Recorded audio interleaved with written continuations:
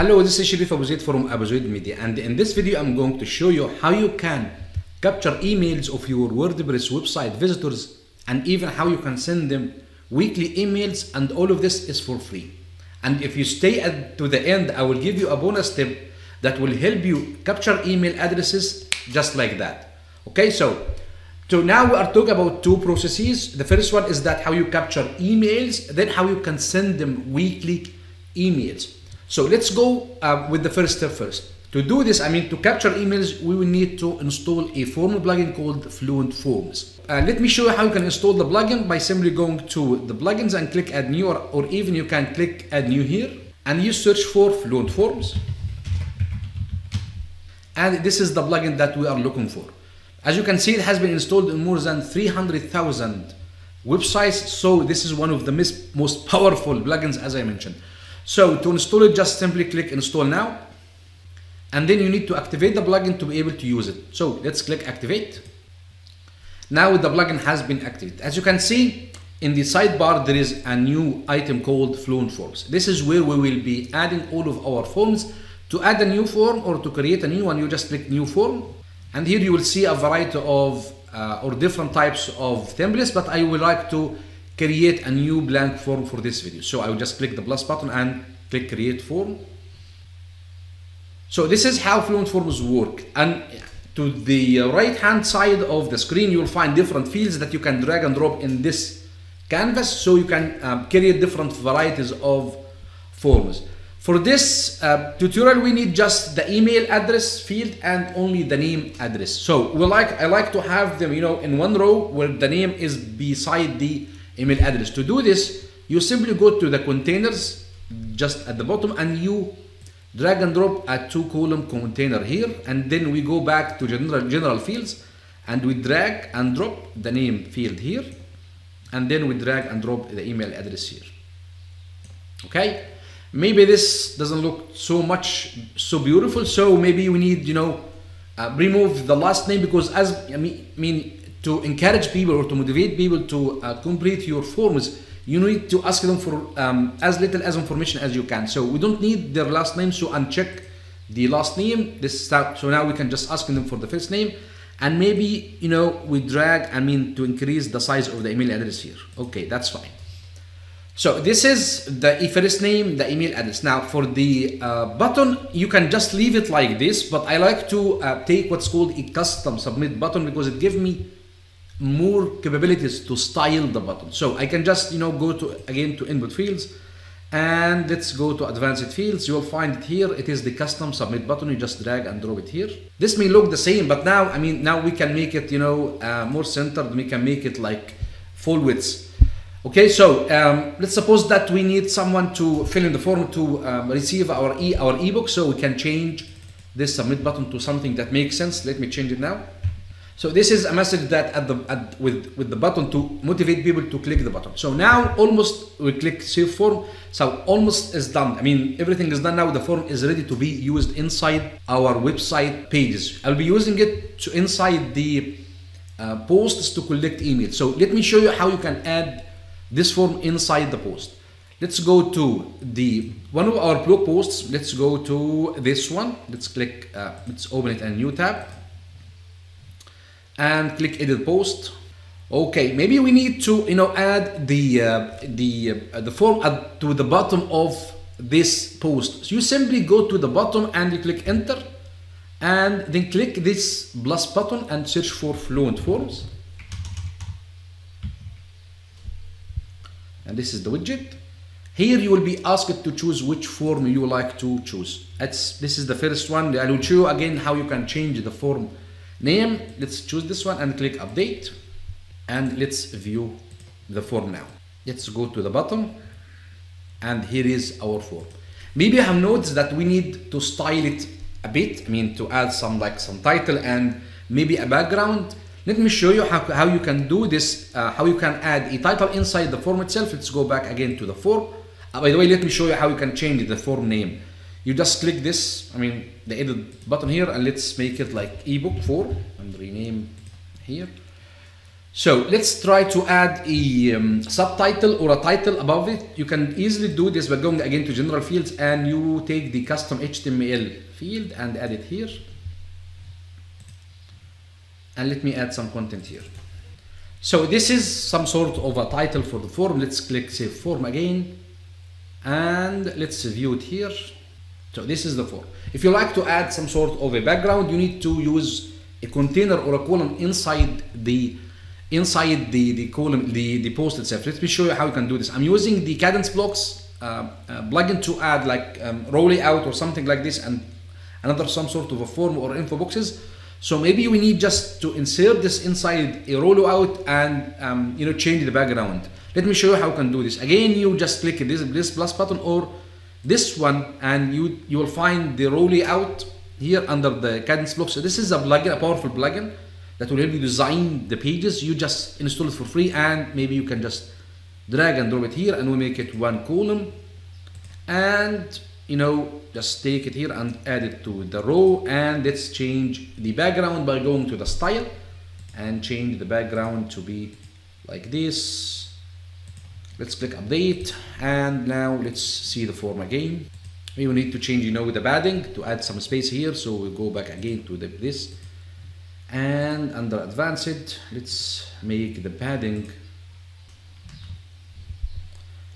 a 30 pixel and let's click update and see the form now so this looks much easier now or much uh, more beautiful. So if you like you know to add this um, block or row in any place at the post you just you know copy all or duplicate all the um, the row layout and again maybe you just let's go here and you take it up to any place or even just drag and take it up here. Maybe let's add it here and you click update and now the form will um, appear here so this is how easily you can add the form now we need to connect this form to an email marketing platform where we can send them email addresses every single week you can connect this free plugin uh, Fluent Forms enables you to connect the plugin to with a form to um, uh, MailChimp and Fluent CRM for free. But if you like to connect it to MailerLite or ConvertKit or ActiveCampaign, you have to pay for the pro version.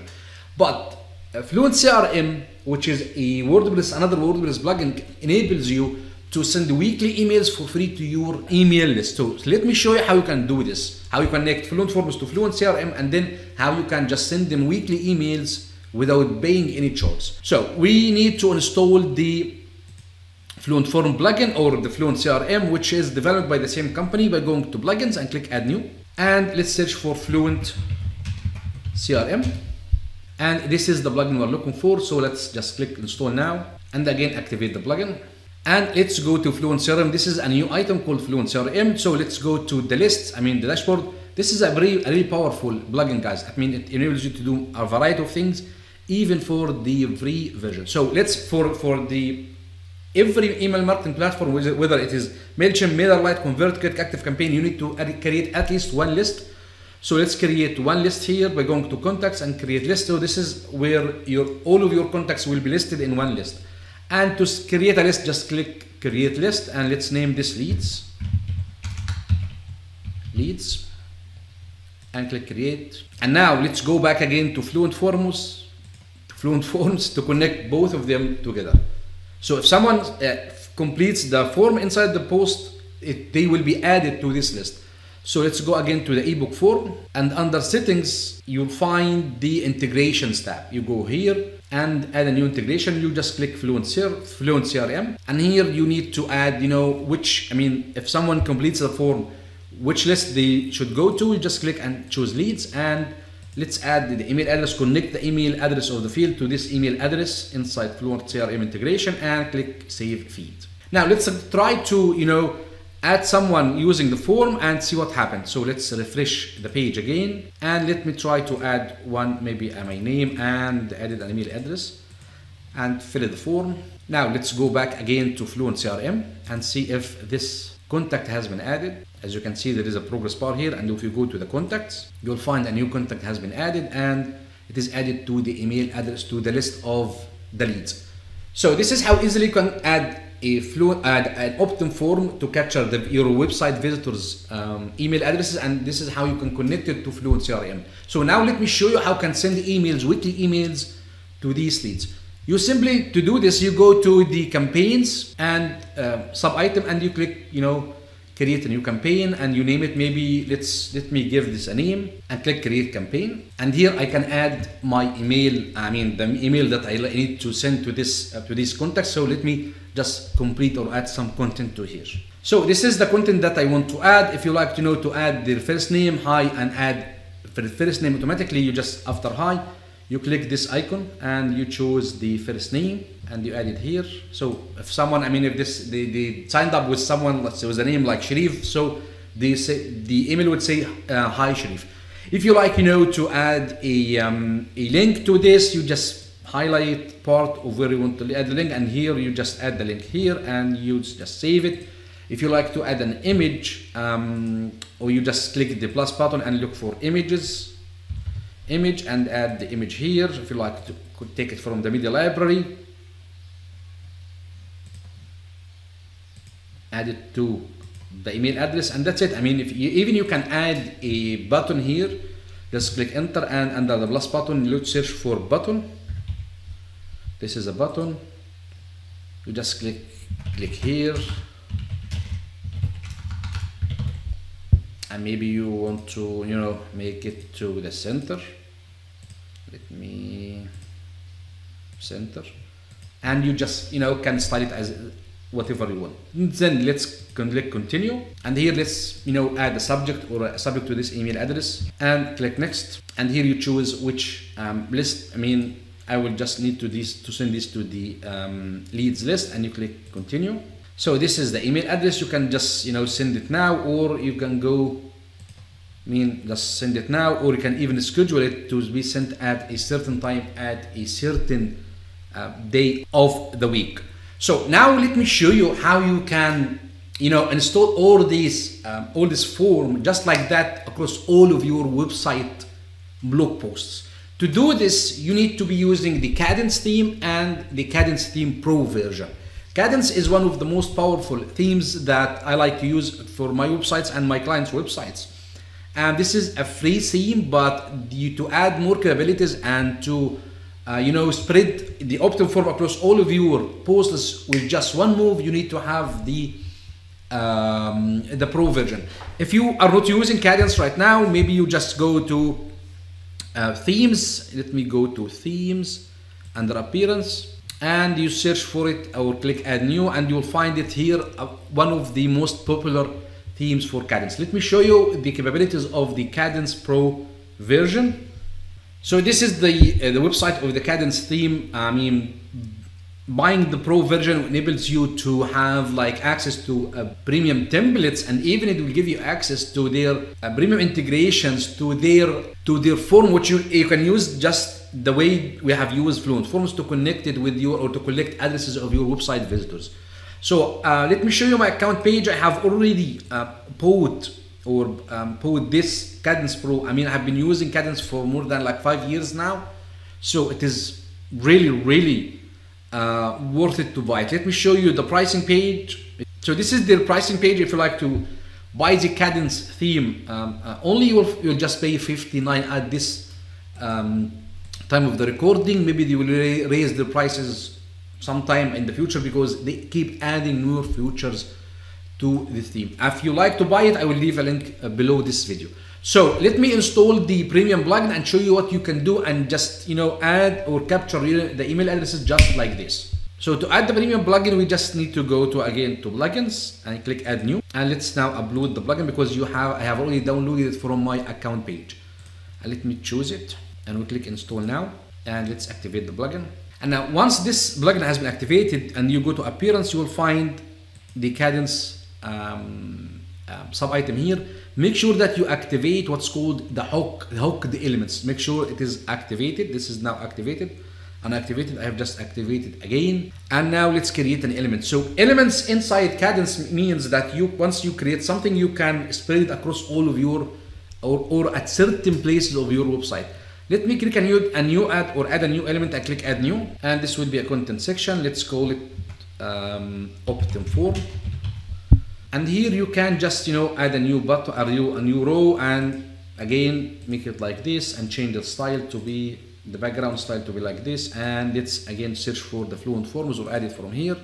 Fluent forms and add it here. And choose the ebook.